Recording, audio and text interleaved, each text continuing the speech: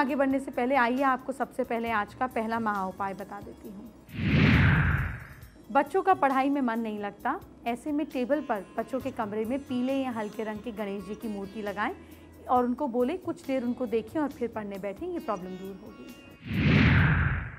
आइए, आपको आज का दूसरा महा उपाय क्या है, अब ये बताती हूँ। अगर जॉब मिलने में प्रॉब्लम आ रही है इंटरव्यू देने जाएँ तो माँ के चरणों का तिलक एक चांदी के सिक्के पर लगाकर उसको पेपर में लपेट कर पॉकेट में रखें। इससे आपके अंदर कॉन्फिडेंस की ग्रोथ होगी और आप अच्छे से इंटरव्यू देकर आएँगे। शो में जानते हैं क्या है आज का तीसरा महा उपाय क्या आपको नौकरी जाने का खतरा सता रहा है? लोहे का छल्ला बाएँ हाथ की मिडिल फिंगर में सैटरडे की शाम को आप पहन लीजिए, ये प्रॉब्लम सॉल्व होगी। अब हम जानेंगे क्या है आज का चौथा महा उपाय। क्या आपके घर में कोई बहुत समय से बीमार चल रहा है? देखिए, आपको डॉक्टर को तो ज़रूर दिखाना है, साथ में आप ये उपाय कर सकते हैं। अगर शनि का कोई दोष है तो ऐसे में घर में कोई ना कोई लगातार बीमार रहता ही है। ऐसे में आप पीपल के पेड़ के नीचे सरसों का तेल का दीपक सैटरडे शाम को जलाएँ, इससे शनि दोष कम होता है। अब आपको आज का पांचवा और आखिरी महा उपाय बताती हूँ।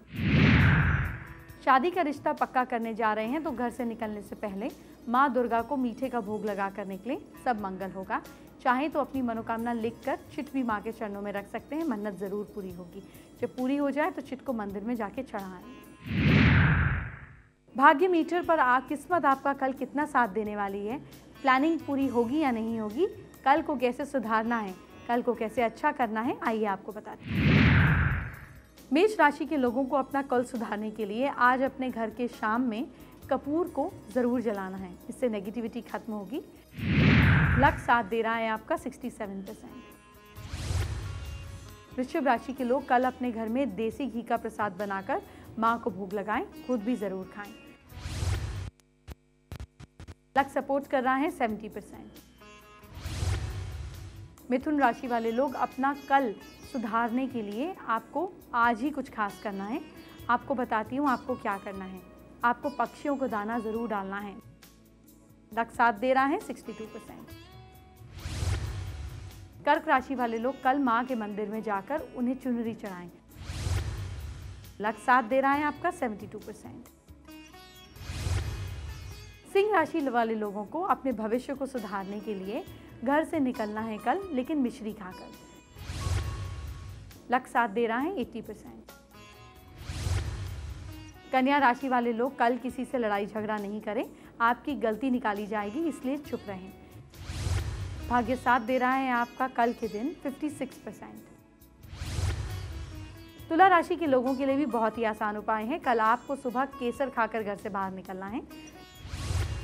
लक आपको सपोर्ट कर रहा है कल 65 परसेंट वृश्चिक राशि वाले लोग कल पंचामृत का भोग लगाकर प्रसाद के रूप में उसे ग्रहण करें। लक आपको सपोर्ट कर रहा है 79 परसेंट। धनु राशि वाले लोग कल मंदिर को अच्छे से साफ़ करें और उसमें ताज़े पीले फूल लगाएँ। लक सपोर्ट कर रहा है आपको 63 परसेंट। मकर राशि वाले लोग कल मंदिर में बाहर बैठे गरीबों को कुछ खाने के लिए दान ज़रूर करें। आपके काम बनेंगे। लक सपोर्ट कर रहा है 73 परसेंट। कुंभ राशि वाले लोग कल खीर का प्रसाद बनाकर भगवान को भोग लगाएँ और गरीबों को बांटें।